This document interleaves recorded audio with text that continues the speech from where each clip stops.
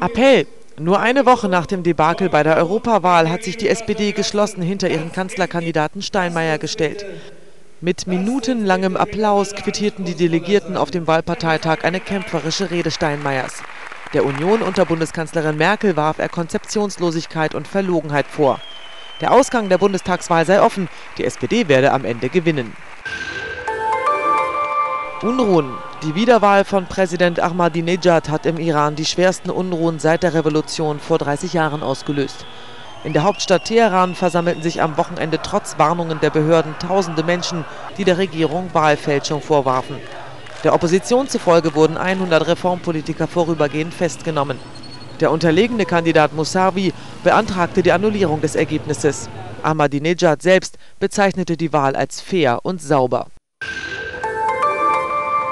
Entführung. Im Jemen sind sieben Deutsche entführt worden.